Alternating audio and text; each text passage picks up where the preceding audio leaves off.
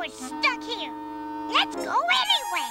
But Uncle Scrooge said, ah, he'll change his mind once we're there. Let's hide in here. I want to go too. No, you can't, Webby darling. How come? It's too dangerous, Lassie.